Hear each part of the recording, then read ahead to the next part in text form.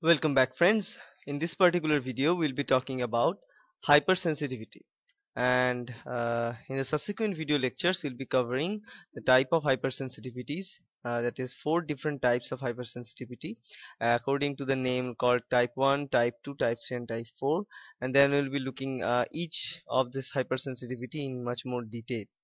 Now in the very first discussion now let us talk about uh, hypersensitivity or the types of hypersensitivity.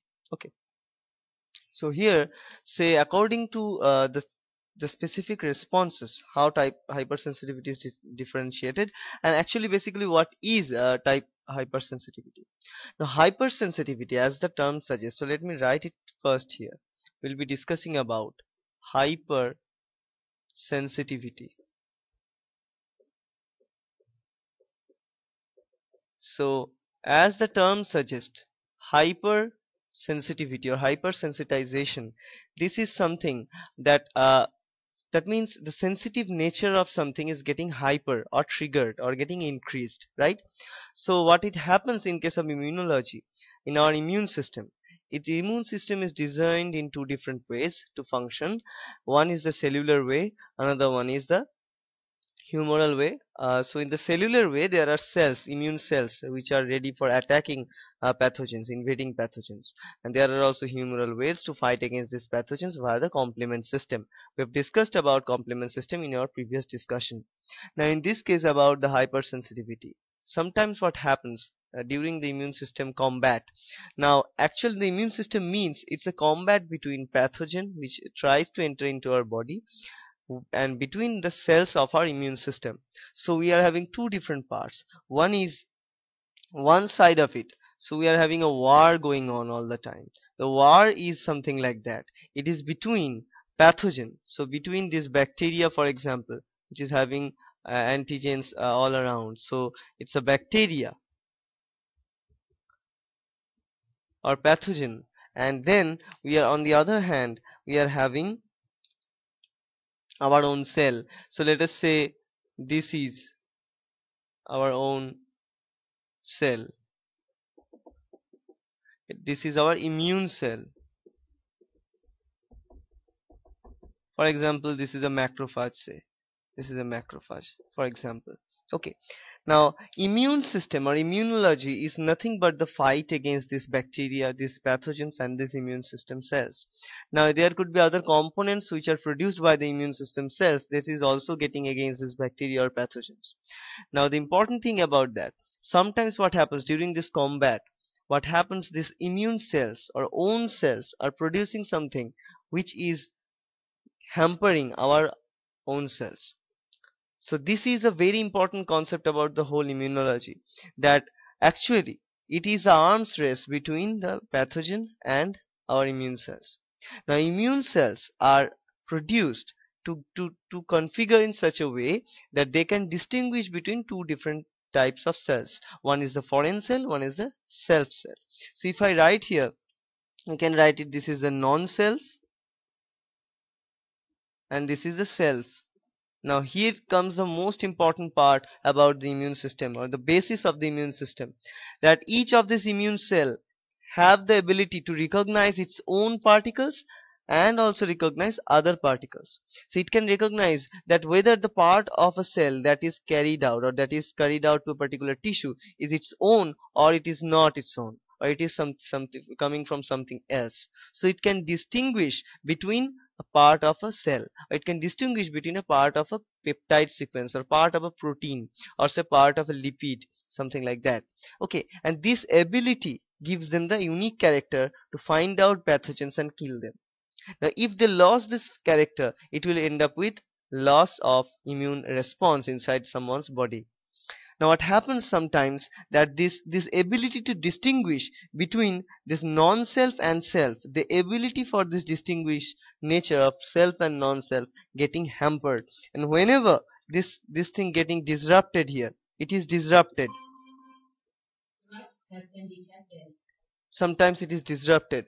And whenever it gets disrupted due to some nature then it cannot recognize its own particle or it can happen that it cannot recognize the non-self particle. So whatever is getting suppose it is getting something non-self particle. Now it cannot recognize it. So it, it does not kill it. So the non-self particle stays there for a longer time. It will keep on damaging us. This kind of system can happen. We call them immunocompromised systems or immune failing system. Now on the other hand it can also lead to another scenario. It is that it is it is unable to recognize the self proteins or self peptides in those conditions what happens? That it is not uh, recognizing self. So it is recognizing self as non-self. So what it is doing? It is though it, it sees the self material but it starts secreting the chemical mediators that is degrading it. Now as a result of this degradation the self molecule it gets lost. So it cannot decide the whether it is self or not. It it instead of uh, thinking that it is self it thinks it thought that it is a non-self part.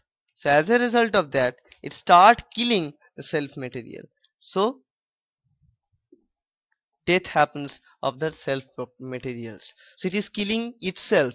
Now this is a situation it is called the autoimmunity or autoimmune system or autoimmune disease. Okay. Now what happens in hypersensitivity is that sometimes real pathogen does not enter into our body.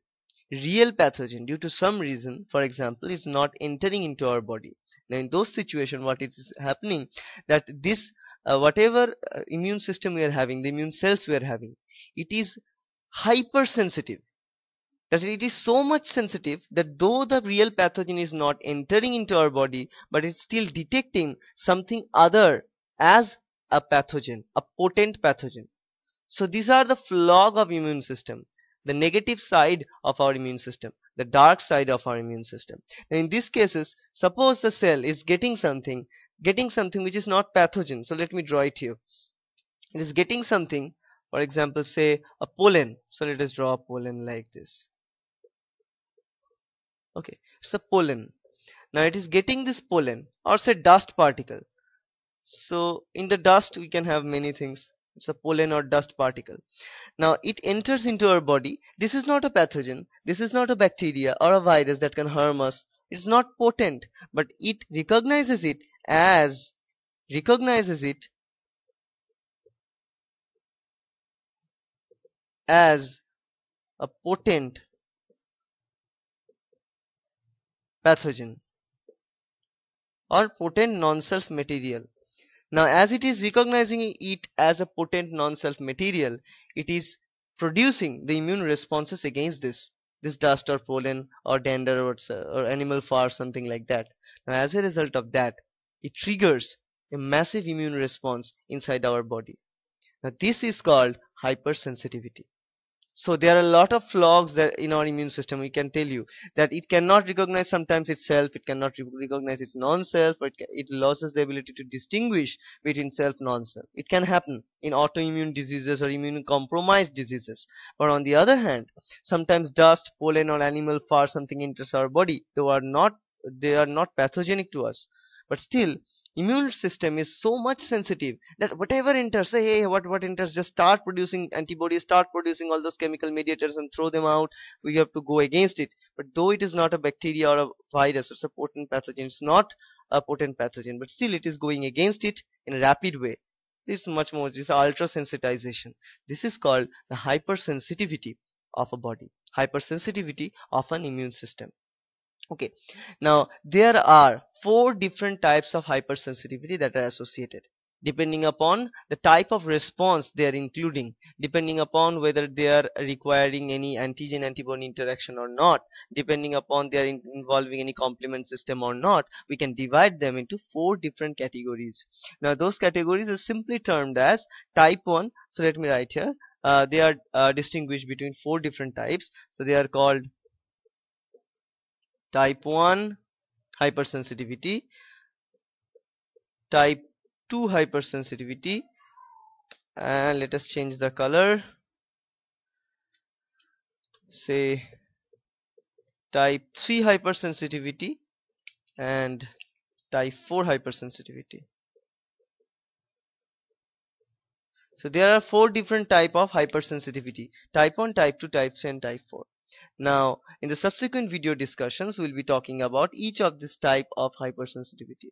Now we'll be discussing about very detail about the type 1 hypersensitivity which is the most common one. Then we'll be talking about type 2 type 3 and type 4 and their associated natures and properties in the hypersensitivity reactions and what is actually happening inside our body inside our immune system during this hypersensitivity reaction. We'll be learning that. Okay so that's uh, introduction about the hypersensitivity and I hope it will help you. Thank you.